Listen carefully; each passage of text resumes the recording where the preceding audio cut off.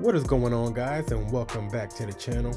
In this video we head to the Shenandoah Mountains to get on this legendary train ride in which we will provide more details a little bit later. But as you can see here we have to drive through the night because we had a late start in this journey which could have ended really badly. And on that note let's get after it. Alright y'all so um I think this is really close to our height limit. And uh, I don't know if we can fit under here. So what I'm gonna do is I'm gonna have Maya drive while I stand on the back of the truck and uh, see if we're good. That's crazy. Go ahead. Go slow. Slower than that. Keep going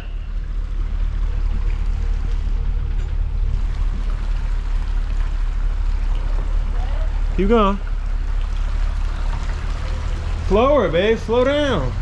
Hey, you're gonna make me fly off of this thing. Go ahead. We're good. Go ahead. Go slower. You driving fast. Hey. This girl trying to kill me. Go ahead. Go ahead. Keep going. Go across the bridge.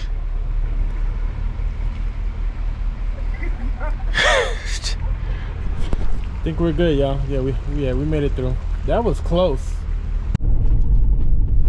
Y'all this may be some of the darkest roads we've ever been on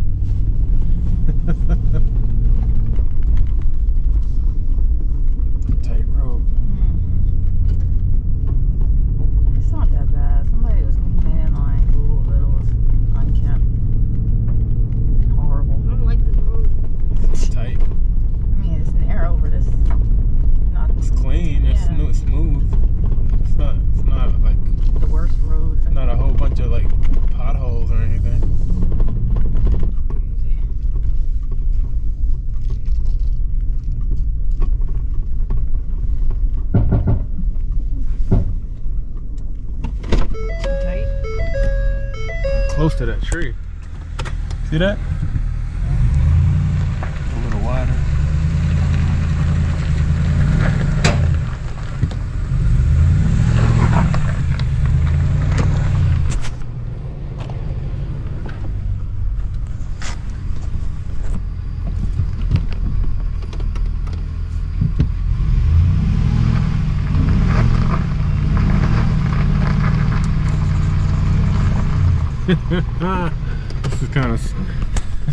sketch right the tree that tree right here got really close. Okay. That was close.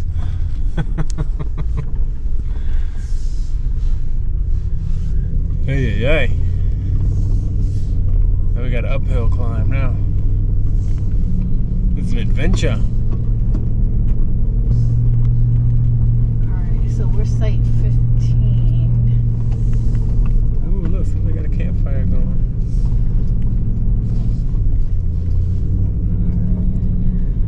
This is interesting. What's interesting? This will be a first for us. First what? I don't know. This park. You've arrived at your destination.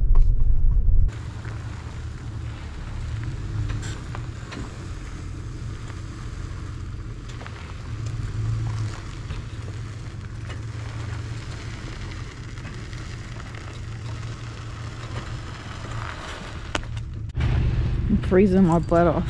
Oh my god. Winter's just getting started, huh? you got Mr. Heater? Mm-hmm. ah! Elena!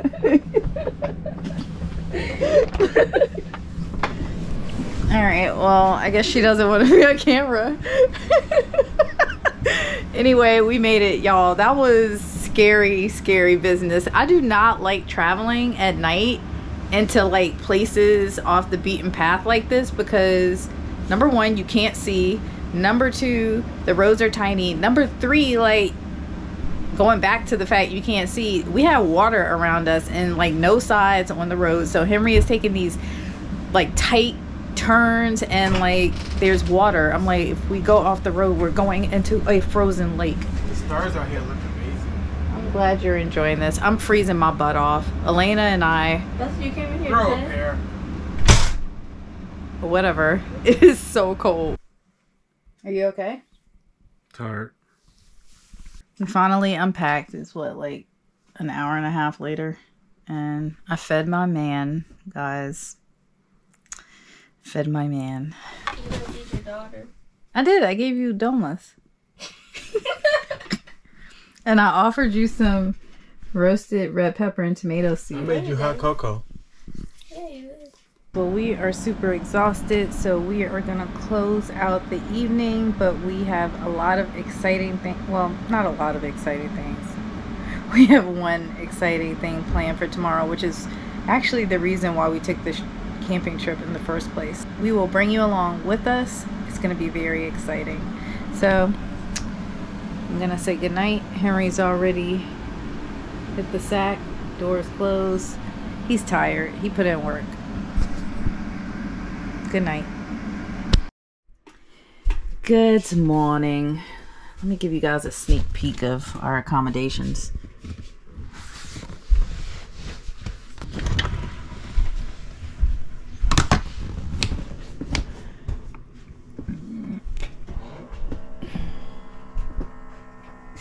Be bougie now. No, this this view is way better back here. Don't be bougie.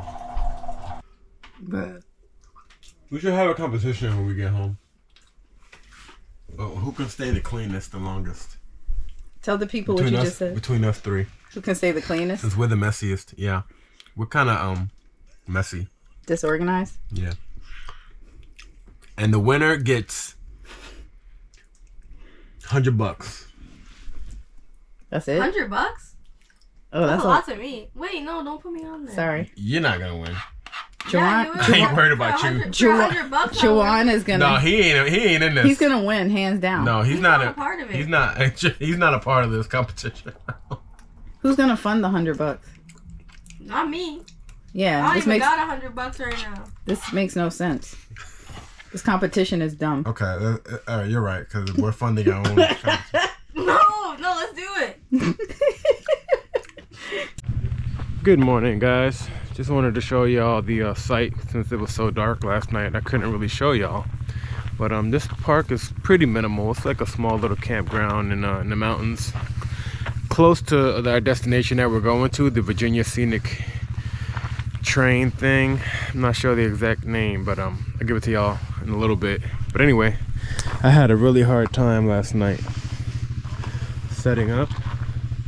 I had to um get creative here because this this stuff is really gravelly. I mean, this is really you know sandy and gravelly, so it's like it just sinks in tiny pieces of gravel. So the blocks just kept sinking every time every time I try to level it. So yeah, I had to put enough basically two um two additional pieces here the Lego blocks to um, get them the right height to level the rig. So this was really uh, interesting. And anyway, this is one side. I don't have any sewer drain.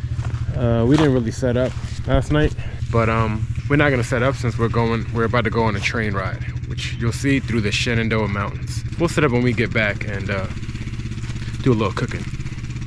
But anyway, I'm gonna go for a walk around the campground and I'll show you guys around. This is more like a full timer spot out here, I believe. A lot of full timer rigs. Look like they've been set up for a while. These guys got a nice little awning set up here. Yeah, one thing that's been pretty annoying is um whoever I guess one of the workers drives this ATV that's really loud. And he woke us up around probably around six o'clock in the morning just driving around doing I guess doing their daily task. But anyway, this train ride, it was really hard to get tickets for it. It's been around, I guess, before my time, running these these uh running this trek through the mountains in the fall.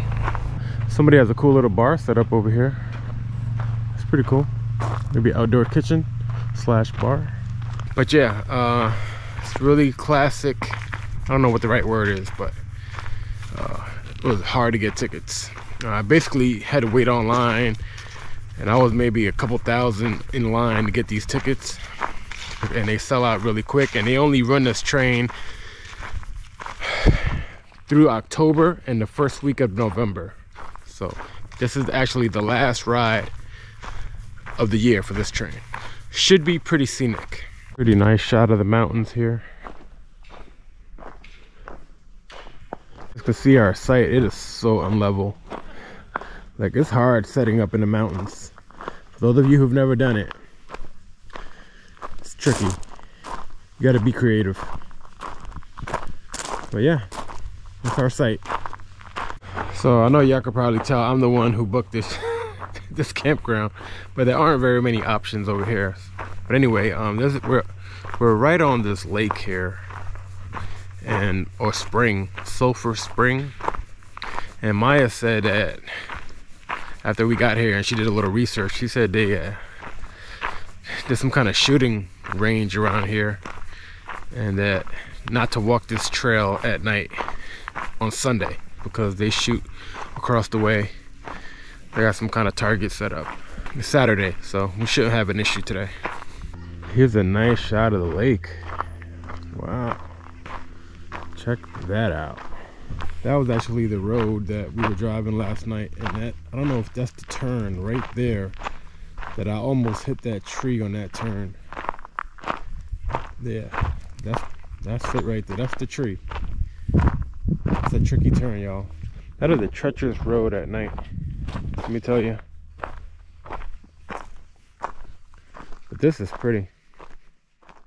We are up and at it, and wow, we can actually see today. I guess Henry may have showed you guys the lake, but we could not see any of this coming in last night, which is really quite terrifying. Um, but here, I think these are springs actually. Um, and apparently this place a long, long, long time ago used to be really popular um, as a resort. I'm thinking it was like in the 1800s or something like that. there you, what are you laughing at? 1800? Yeah, so there used to be a big hotel Oh. um, along the springs This here. factual. Yeah, along the springs, and people would come here from all over and um, visit this resort. Um, so over time, I guess uh, one, uh, I think it was World War One happened. put everybody to sleep, Matt? World War One happened. Look, let me talk about my history that I looked up on Google right before we came here. During World War One, um, things kind of um, fizzled out, and I think they tore down the hotel, or either it fell apart for some reason. I'm not sure what happened, to be honest. But um, it ain't here no more. So anyway, that's the story.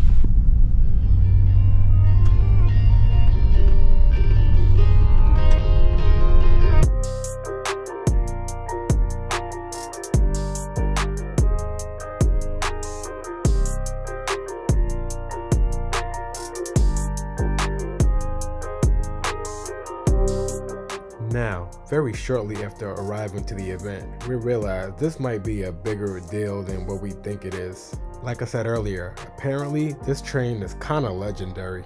Now I truly see why I kinda had a hard time getting these tickets in the first place. This Norfolk Southern Engine 611 is an iconic steam locomotive from the 1950s. Known for its speed, it was originally used for passenger travel. It's one of the last steam trains built in the US Retired in the 1950s, Engine 611 became a museum piece in Virginia.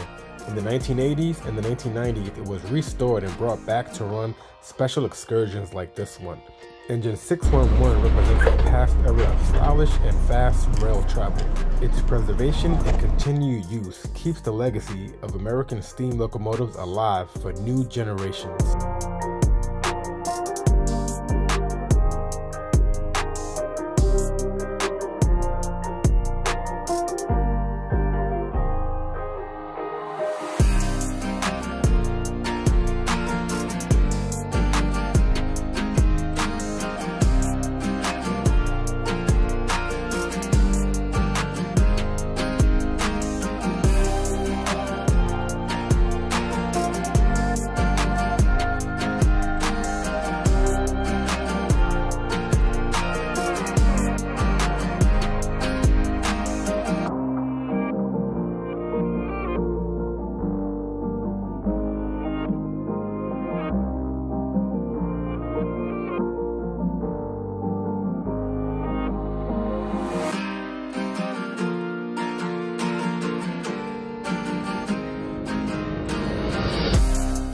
Train ride ended right before dusk, which was perfect and gave us just enough light to get back through that crazy, sketchy road back to the campground.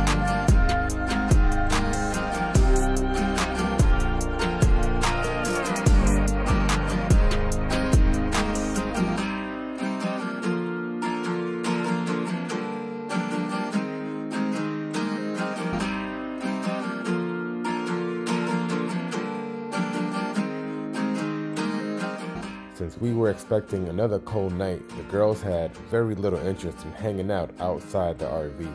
But since it was our last night, I had to seal the deal and burn some wood and get that wood potpourri in the air. And on that note, I'll see you on the next one. Peace.